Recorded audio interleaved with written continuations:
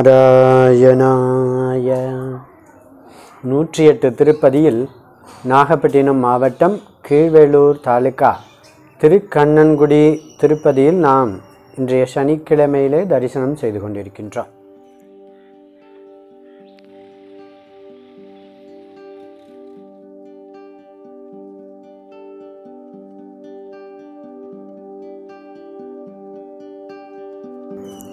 இந்த திருத்தலம் என்பது பஞ்சகிருஷ்ணாரண்ய திருப்பதிகளில் ஒன்று. விழுப்புரம் மாவட்டம் அருகே உள்ள திருக்கோவிலூர் திருவண்ணாமலை செல்லும் வழியிலே உள்ள பெருமாள் உலகளந்த பெருமாள் தஞ்சாவூர் மாவட்டத்திலே உள்ள திருக்கண்ணன் கபிஸ்தலம் திருவையாறு மிக அருகிலே உள்ள தலங்களாகும். அதற்கு அடு அடுத்தபடியாக திருவாரூர் மிக அருகிலே திருக்கண்ணமங்கை திருவாரூர் சன்னாநல்லூர் நாகூர் மார்க்கம் வழியாக உள்ள திருக்கண்ணபுரம். இவைகளெல்லாம் பஞ்சகிருஷ்ணாரண்ய திருப்பதிகளாகும். இந்த ஐந்து கிருஷ்ணாரண்யங்களில் அதி அற்புதமான தரிசனம் தரக்கூடிய பெருமாள் இந்த திருக்கண்ணன்குடி ஸ்ரீ தாமோதர நாராயண பெருமாள் ஸ்ரீ சியாமலமேனி பெருமாள். தனி கோவிலாக வீற்றிருந்த பெருமாள் என தனி கோவிலிலே இருப்பார். இதற்கு அடுத்த முன்பாக திருப்பதியிலும் இருப்பார். இந்த திருக்கோவிலின் பெருமாள் ஸ்ரீ தாமோதர நாராயண பெருமாள் தாயார் அரவிந்தவள்ளி நாயகி தாயார் ஸ்ரீ சியாமலமேனி பெருமாள் என திருநாமங்கள் இவருக்கு உண்டு.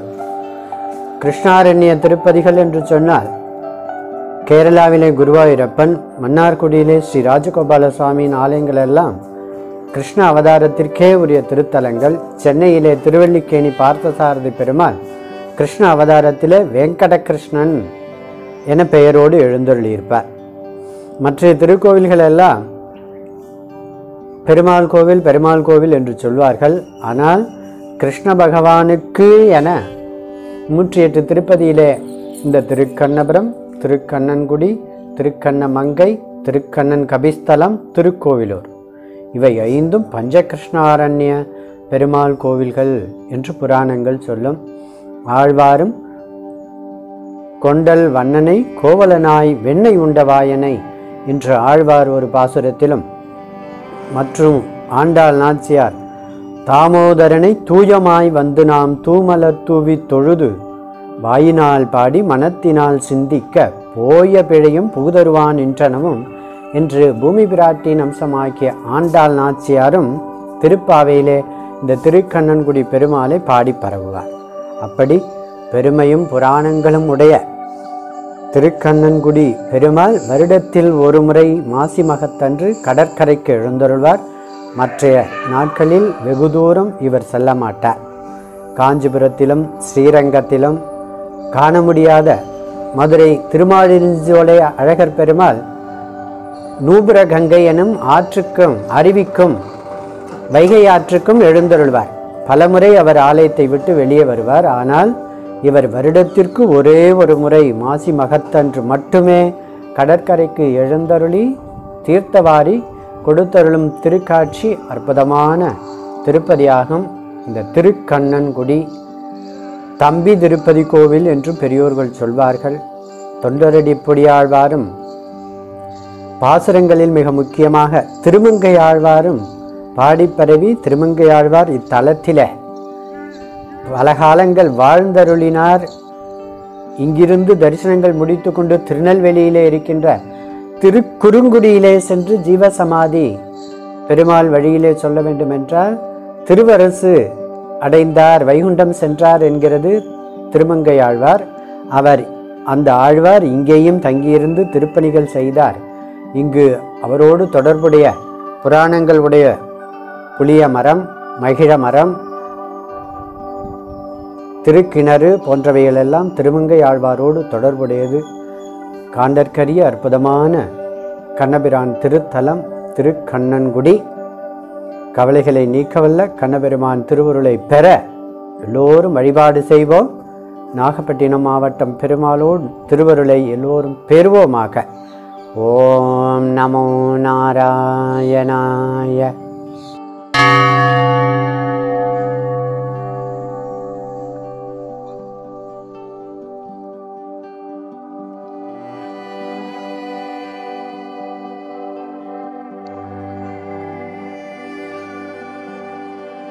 श्रीशैलेशदयापात्रं दीपक्यादिगुणार्णवं यतीन्द्रप्रवणं वन्दे रम्मजामातरं मुनिम् ஸ்ரீயப்பதியான எம்பெருமானால் மயர்வர மதிநலம் அருளப்பெற்ற ஆழ்வார்களால் மங்களாசாசனம் செய்யப்பெற்ற திவ்யதேசங்கள் நூற்றி எட்டனுள் இருபத்தி ஆறாவது திவ்யதேசமாக விளங்குவது திருக்கண்ணங்குடி.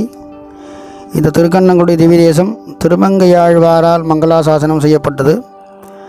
திரு பெரிய திருமொழி ஒன்பதாம் பத்து முதல் திருமொழி. வங்கமாமுன்னீர் வரிநிறப்பெரிய வாளரவின் அணைமேவி சங்கமாரங்கை தடமலருந்தி சாமமாமினையன் தலைவன். அங்கமாறு ஐந்து வேள்வி நாள் வேதம் அருங்கலை பயன்னு எரிமோன்னும் செங்கையால் வளர்க்கும் துலக்கமில் மனத்தோர் திருக்கண்ணங்குடியுள் நின்னானே என்று தொடங்கி கலையுலாவல்குள் காரிகை திறத்து கடற்பெரும் படையுடன் சென்னு சிலையினால் இலங்கை தீகிழச் செத்த திருக்கண்ணங்குடியுள் நின்னானை மலைகுலா மாட மங்கையர் தலைவன் மானவேல் கலியன் வாயொலிகள் உளவு சொல் மாலை ஒன்பதோடொன்னும் வல்லவர்க்கில்லை நல்குறவே. என்ன பரியந்தமாக பத்து பாசுரங்களால் திருமங்கையாழ்வார் இந்த பெருமாளை மங்களாசாசனம் செய்திருக்கிறார். இந்த பெருமாளுக்கு முதல் ஏத்தம் திருமங்கையாழ்வாருடைய மங்களாசாசனம். ஆழ்வார்கள் மடலெடுக்கும் அழகுடைய பெருமாள் என்னமா போலே. மங்களாசாசனம் தான் இந்த பெருமாளுக்கு முதல் ஏத்தம் இரண்டாவது ஏத்தம் என்னம்னா திருமங்கையாழ்வார் இந்த எல்லா சன்னதியும் மங்களாசனம் பண்ணியிருக்கார் திருமங்கையாழ்வாரோட சரித்திரத்தோட சம்மந்தப்பட்ட சன்னதிகள் சிலது இருக்குது அந்த சரித்திரத்தோட சம்மந்தப்பட்ட சன்னதியில் இதுவும் ஒன்று திருமங்கையாழ்வார் நாகப்பட்டினத்தில் உள்ள புத்த விகாரத்தை எடுத்துன்னு வந்து ஸ்ரீரங்கம் பெருமாள் மதில் சுவர் திருப்பணிக்காக எடுத்துன்னு வந்தார். அதை இந்த ஊரில் ஒரு வயல் கரையில் புளிய மரத்தின் கீழ் அதை புதைச்சு அந்த புளிய மரத்துக்கு ஒரு நியமனம் பண்ணுறார் நீ ராத்திரி முழுக்க தூங்காமல் இந்த பொருளை பாதுகாக்கணும் அப்படின்னு சொல்லிட்டு காலம்போட கார்த்தால் எழுந்திருந்து பார்க்கும்போது அந்த வயலில் உழவன் வந்து உழவு செஞ்சுட்டுருக்கான் அவன்கிட்ட போய் நீ யார் இங்கே உழவு செய்கிற அப்படின்னு சொன்னதுனால அது என்னுடைய நிலம் நான் உழவு செய்கிறேன்னு சொன்னான். திருமங்கை ஆழ்வார் என்னுடைய நலம்னார். ரெண்டு பேருக்கும் தர்க்கம் முத்தி போச்சு. ஊரில் பெரியவர்கள்லாம் கூப்பிட்டு பஞ்சாயத்து பண்ணினா. அப்போ வந்து பெரியவாள்லாம் திருமங்கை ஆழ்வாரை போய் நீர் உம்முடைய நலன் சொல்கிறீ உம்முடைய நலன் சொல்கிறதுக்கு எங்களுக்கு தெரியாது. இருந்தாலும் விசாரணைன்னு வரும்போது நாங்கள் உங்களை கேட்கணும் சாட்சி இருக்கணும் உங்களுக்கு இல்லாட்டா அனுபவம் இருக்கணும் இல்லாட்டா ஏதாவது ஆவணங்கள் இருக்கணும். இது மூணில் ஏதாவது ஒன்று இருந்தால் நாங்கள் ஏற்றுக்கிறோம் அப்படின்னு சொன்னார். அதுக்கு திருமங்கை ஆழ்வார் இது என்னுடைய தகப்பனார் தாமோதரனுடைய நிலம் அப்படின்னு பெருமாள் பேரை சொன்னார். அது பெருமாளுடைய நிலம் அது. இப்படியே சொல்லிட்டு இருக்கும்போது சாயந்தரம் விசாரணை வந்து சாயந்தரம் ஆகிடுத்து சரி மறுநாள் ஒத்தி விசாரணை ஒத்தி வச்சுக்கலாம்னு சொல்லிட்டு மறுநாள் பெருமாளை வந்து திருமங்கை ஆழ்வார் மங்களாசனம் பண்ணுறார் மங்களாசாசனம் பண்ணிவிட்டு பிரதட்சணமாக வந்து அந்த மகிழ மரத்துக்கு ஒரு நியமனம் பண்ணுறார் பின்னாடி இப்போ பெருமாளுக்கு பின்னாடி உள்ள மகிழ மரத்துக்கு ஒரு நியமனம் பண்ணுறார் நீ காயாமல் பெருமாளுக்கு காய்க்காமல் நிறைய பூவை கொடுக்கணும். அப்படின்னு அதனால் அது காயா மகள் அப்படின்னு பேர். அப்புறமா பிரதட்சணமாக வந்து பெருமாளை வெளியில் போய் சன்னதிக்கு வெளியில் போய் ஒரு ஆற்றுல மாமிக்கிட்ட தீர்த்தம் கேட்குறார். அந்த மா பார்த்து ம- மென் மாமி வந்து தீர்த்தம் கொடுக்க மாட்டேன்னு சொல்லிடுறா. ஏன்னா ஏற்கனவே வயலில் இருந்துட்டு என்னுடைய வயல் நீர் தர்க்கம் பண்ணினீர். நான் உன் தீர்த்தம் கொடுத்தா சொம்பு உன்னோடதுன்னு சொல்லிட்டு தர்க்கம் பண்ணிடுறேன் அதனால் உமக்கு தீர்த்தம் கிடையாதுன்னு சொல்ல. நான் வந்து அடியன் தெ- பெருமாள் நம்பெருமாள் திருப்பணிக்காக போயிட்டுருக்கேன் அடியனை யாரும் தெரிஞ்சுக்காமல் நீங்கள் எனக்கு தீர்த்தம் கொடுக்க மாட்டேன்னு சொல்கிறீர் அதனால் இந்த ஊரில் தீர்த்தம் ஊறாமல் போகட்டும்னு செபிச்சார். அதனால் ஊரா கிணறு அப்படின்னு பேர். அப்புறம் ஊரில் உள்ள பெரியவாள்லாம் கூப்பிட்டு அடியன் பெரிய பாகதோத்தமன் நான் கைங்கரியம் பண்ணுறதுக்காக நம்பெருமாள் கைங்கரியத்துக்காக போயின்னு இருக்கும்போது என்னை கூப்பிட்டு இங்கே வழக்காடினீர். அதனால் இந்த ஊரில் எந்த வழக்கும் தீராமல் போகட்டும்னு செபிச்சார். அதனால் தீரா வழக்கு அப்படின்னு பேர். ஊரா கிணறு உறங்கா புலி காயாமகிழ் தீரா வழக்கு அப்படின்னு பேர். அப்புறம் அவள்லாம் பெரியவாள்லாம் வந்து பெருமாளுடைய திருமங்கையாட்ட இதுக்கு பிராய்ச்சித்தமே கிடையாதான்னு கேட்கும்போது நீர் பெருமாளை நோக்கி பெருமாளை பிரார்த்தனை பண்ணிங்கோ அது வழக்கு தோலா வழக்காகும் அப்படின்னு அதுக்கு பிராய்ச்சித்தம் கொடுத்தார். இதுபோல் இப்போ திருமங்கையாழ்வாரோட சரித்திரத்தோட சம்பந்தப்பட்ட சந்நிதி இது இரண்டாவது ஏத்தம். மூணாவது ஏத்தம் இந்த பெருமாளுடைய ஸ்தல புராணம். வசிஷ்ட மகர்ஷி வெண்ணையனாலே கிருஷ்ணமங்கல விக்கிரகம் செய்து திருவாராதனம் பண்ணினார். அப்போது வந்து கிருஷ்ணன் வந்து சின்ன சிறுவனாக வாமனன் வடிவில் வந்து அந்த வெண்ணெயை சாப்பிட்டார். சாப்பிட்டுட்டு மேற்கு நோக்கி ஓடி வந்தார். ஓடி வரும்போது வசிஷ்டரும் அவரை துரத்திண்டே வந்தார். இந்த மகிழ மரத்தின் கீழே ரிஷிகள்லாம் தபஸ் பண்ணிட்டு இருந்தா கௌதமர் மாட்டரர் பிருக்கு இந்த ரிஷிகள்லாம் தபஸ் பண்ணிட்டு இருந்தா அந்த வர்றவர் கிருஷ்ணன் இவர் தன்னுடைய திருஷ்டாந்தத்தினால் தெரிஞ்சுக்கிண்டு அவர் அப்படியே ஆலிங்கனம் பண்ணிக்கிட்டார் ஆலிங்கனம் பண்ணிக்கிண்டு தேவர் எங்களுக்காக இங்கே சங்கு சக்கரத்தோட பிரத்யக்ஷமாகணும் அப்படின்னு சொல்லிட்டு அவள்கிட்ட பிரார்த்த பெருமாள்கிட்ட பிரார்த்தனை பண்ணுகின்றார். உடனே வசிஷ்டருக்கும் அது தெரிஞ்சு போச்சு.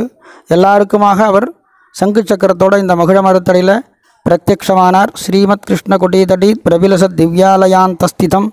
நீரஸ்னிக்த கபீர நீரததனம் ஸ்ரீவத்ச பக்ஷோஜ்வலம். கோட்யர்க்க பிரபசங்கச்சக்கர விலசத் பாகுத்பயம் சுந்தரம். ஸ்ரீ தாமோதர தேவம் ஆதிபுருஷம் நாராயணம் தம் பஜே என்று உற்சவருடைய ஸ்தல ஸ்லோகம். இந்த கிருஷ்ணனாகவே இங்கே வந்து அவர் பிரத்யக்ஷமானதால் இது ஸ்ரீமத் கிருஷ்ணகுடி தடி திருக்கண்ணன்குடி கிருஷ்ணாரண்ய க்ஷேத்திரம். கிருஷ்ணாரண்ய க்ஷேத்திரம் மூணு திருக்கண்ணபுரம் திருக்கண்ணங்குடி திருக்கண்ணமங்கை. இவன் மூணு கிருஷ்ணாரண்ய க்ஷேத்திரம். பஞ்ச கிருஷ்ண ஸ்தலங்கள்ங்கிறது இன்னும் ரெண்டு சேர்ந்து திருக்கோவிலூர் கபிஸ்தலம். இது ரெண்டும் சேர்ந்து பஞ்ச கிருஷ்ண ஸ்தலங்கள் அப்படின்னு பேர். ஆக கிருஷ்ணாரண்யங்கிறது மூணு க்ஷேத்திரம்.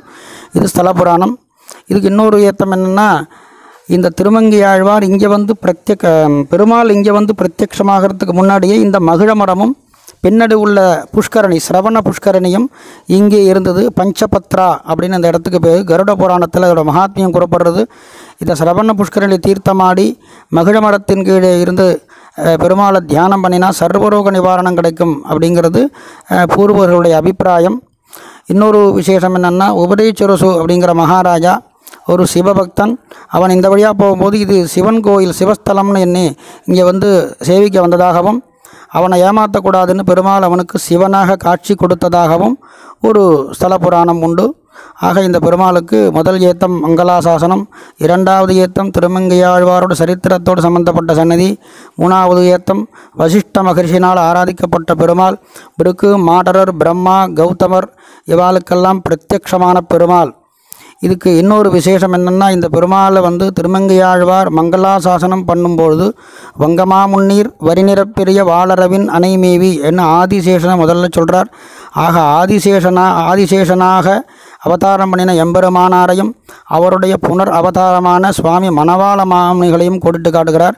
இந்த சந்நிதியில் மணவாள மாமுனிகள் தன்னுடைய ஆச்சாரியனான திருக்கண்ணங்குடி பிள்ளைகிட்ட திருப்பல்லாண்டுக்கு வியாக்கியானம் கேட்டதாக பூர்வர்களுடைய அபிப்பிராயம். அதாவது பகவத் விஷய காலக்ஷேபம் பண்ணும்போது முதல்ல திருப்பல்லாண்டுக்கான காலக்ஷேபத்தை திருக்கண்ணங்குடி பிள்ளைகிட்ட தான் மணவாள மாமுனிகள் இந்த சந்நிதியில் இந்த இடத்துல கேட்டதாக ஒரு விசேஷம் இந்த சந்நிதிக்கு உண்டு. ஆக இன்னைக்கும் மணவாள மாமுனிகளாலே மணவாள மாமுனிகள் திருமேனி சம்பந்தத்தவர்கள் என்கிற பாலூர் வம்சத்தவர்களாலே இங்கே கைங்கரியம் பண்ணக்கூடிய அவருடைய ஆதீனத்தின்பால் உள்ள சந்நிதி இது. இப்பேற்பட்ட இந்த சந்நிதியை அனைவரும் வந்து சேவித்து பெருமாளின் பாத்திரத்தையும் ஆழ்வாருடைய ஆழ்வார் ஆச்சாரர்கள் கிருபைக்கும் பாத்திராகும்படி பிரார்த்திக்கிறோம். அடியன் ராமானுஜதாசன்.